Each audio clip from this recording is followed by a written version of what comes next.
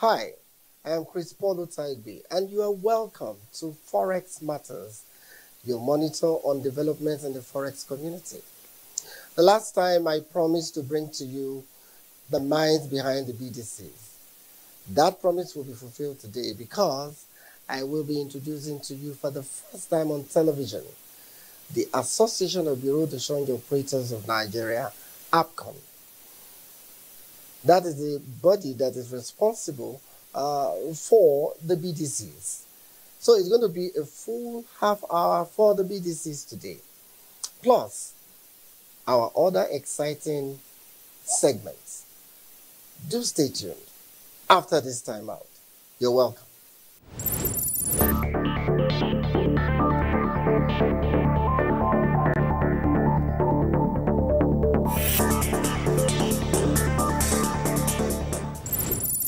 You're welcome back. As you know, today's episode is a special menu for the BDCs. But before we meet them, let us have a quick look at what is happening in the world of economy. Banks warn customers against violation of the Central Bank of Nigeria Forex directives. The Central Bank of Nigeria says Nigeria imports over $580 million worth of cassava byproducts every year. Central Bank of Nigeria directs banks to block 18 companies' accounts. The federal government of Nigeria spent 91% of revenue on debt servicing in six months. EFCC urges banks to query customers' sources of income. AFDB jumps into Australian capital market with $464 million kangaroo bond. And Nigeria pegs 2022 base oil price at $57 per barrel. Foreign exchange, hard currencies, dollar, pound sterling, euro, Dutch marks, French francs, and so on. It is all about Forex. It is the denominator that lubricates the economy as well as your life. International trade is run by it. Our national economy is dependent on it. As a manufacturer, it is what you need to bring your materials from overseas. And as a parent, it is what you need to send your children to school abroad. And for critical medical treatment, Forex is what you need to get that hospital outside Nigeria. So you need to know how it's faring in the market, how and where you can get it through the banks and the BDCs. Forex Matters will bring to you information on developments in the Forex market and how the community is responding just to make it good for you. Forex Matters, your monitor on Forex developments.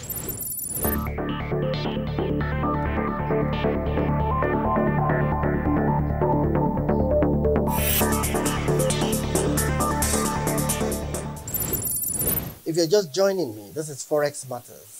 And our story today is solely on the BDCs through the association called ABCON. So, what is ABCON? Who are the BDCs? Well, here's a report to guide you. Association of Bureau de Change Operators of Nigeria, ABCON, is the official umbrella body recognized by the Central Bank of Nigeria, CBN, to oversee the activities of Bureau de Change operators across Nigeria. The Bureau de Change business in Nigeria is principally regulated by the Central Bank of Nigeria. ABCON consistently works with CBN to develop regulatory policies for foreign exchange operations in Nigeria. Notably, the CBN has publications commonly known as circulars and pronouncements, which impact the activities of the central bank licensed forex operators. Functions of ABCON Collaborate with CBN to ensure Forex availability to small scale end users in line with CBN guidelines. Service tools to the CBN for the management of exchange rates. Assist in the fight against illegal financial activities. Facilitate economic activities. Provide economic data for policy decisions. Sensitization and training of BDC operators nationwide to ensure easy compliance to CBN guidelines and directives.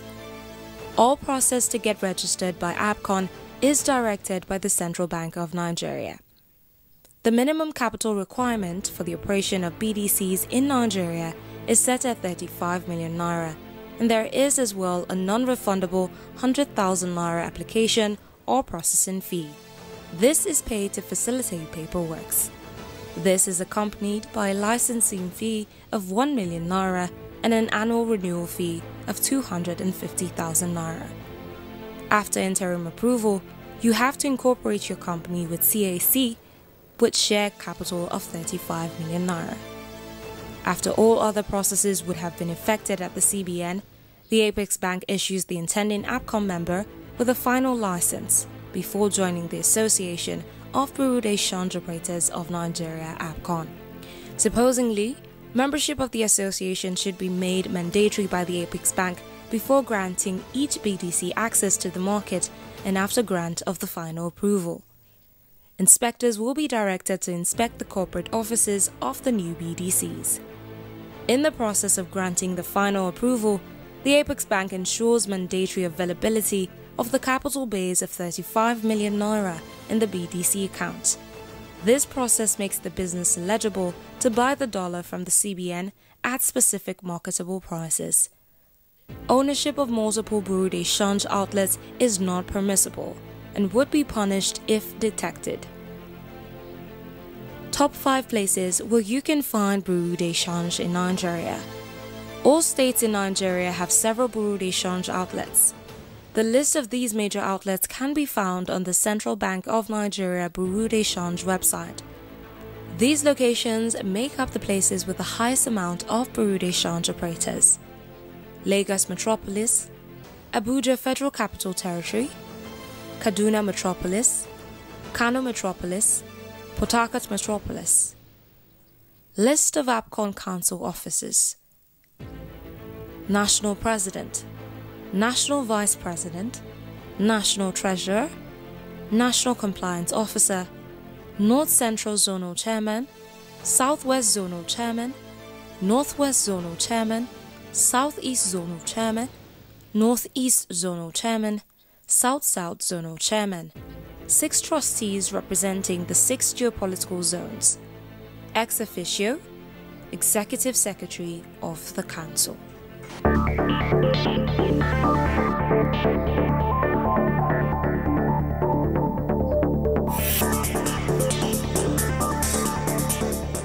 As the president of the BDC, not only has Dr. Aminu Gwadabe become the brand for the positively organized uh, BDCs, he has become a credible voice for forex matters in the country.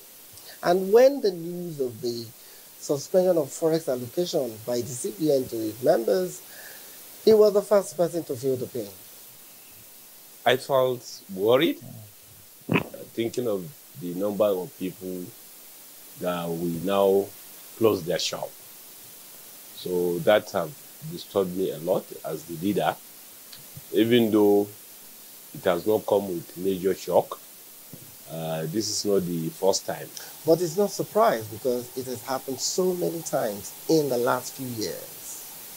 The regulator, we woke up one day and said, men have shut the window. It has happened in 2010, uh, 2009, 2010. It has happened in 2014. It has happened in 2016 and it's happening in 2020. So we all know when there is uh, dwindling oil prices and investors refusing to come into the country, then we run into a general foreign exchange crisis. So I think that is the uh, one we saw such parameters, fundamentals happening in the market.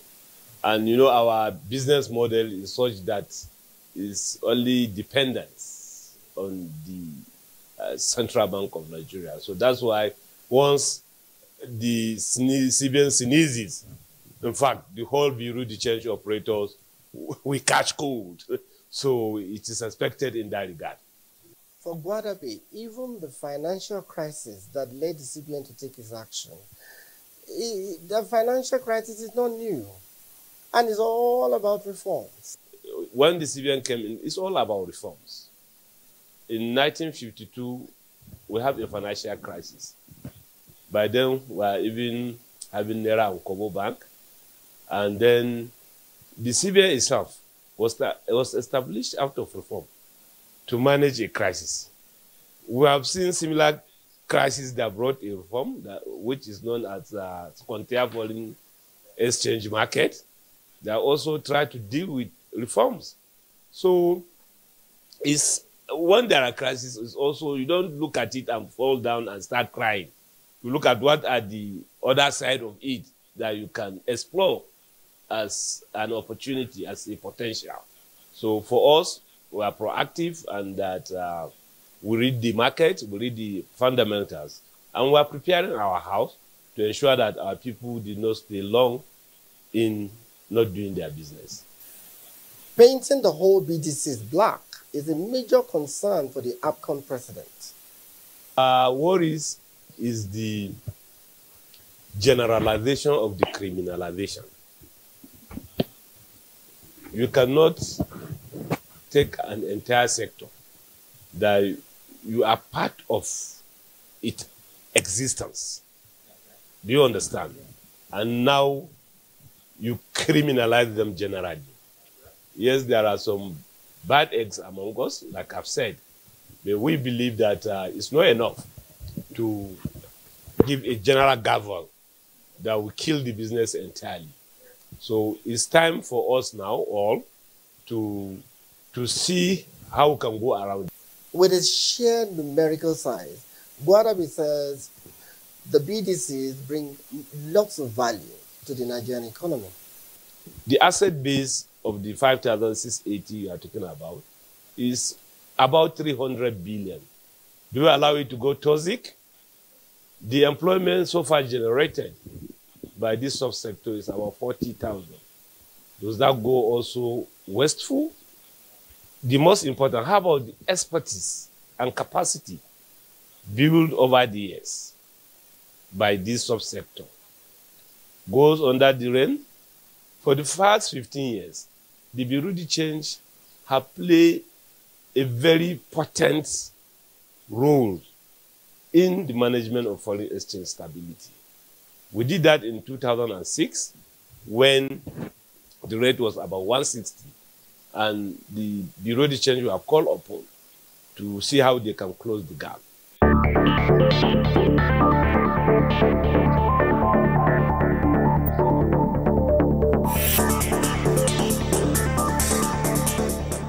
Badamati Mohammed Murtala is ABCON's treasurer and chairman capacity building committee for the association.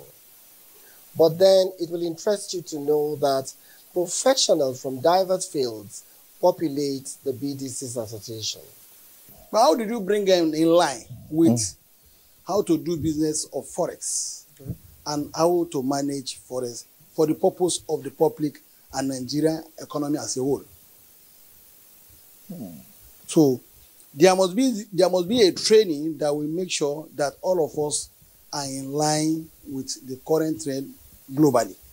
He says resource persons for their workshops are experts in specialized areas of the financial sector, and they are taken from such regulatory bodies as the CBN, among others. We bring the regulators, especially the CBN, to train our members you must be so sure that those from the CBN are those who are really involved in forex management and those who are involved in forex policy. So by the time they are imparting their knowledge to our operators, they will be imparting the right thing to ensure that the policies are achieved by them. And you will agree with me, if those who design a policy impart their knowledge of how the policy will be up, will be will be successful definitely by the time they teach or train our members our member will ensure that these policies are effectively implemented other regulatory agencies which are equally uh, sensitive and strategic also train the BDCs to keep them on the right side of the law and their businesses. Likewise, look at NFIU, Nigerian Financial intelligent units, we involve them too. We equally look for even area beyond forest training. Some other occasion will involve um, tax authorities because they must be responsible to the government to ensure that they pay their tax either to the Federal Inland Revenue Service or to the State Inland Revenue Service for wherever they domicile. So those are the things that will be, that are imparted to them to ensure that the forex policies are achieved. Besides capacity building, the training exercise is meant to achieve other goals too. In terms of forex business and management, even though we have many um, professionals, mm-hmm. the, you can see lawyers, engineers, accountants, economists, and so on and so forth. But how did you bring them in line with mm. how to do business of forex okay. and how to manage forex for the purpose of the public and Nigerian economy as a whole?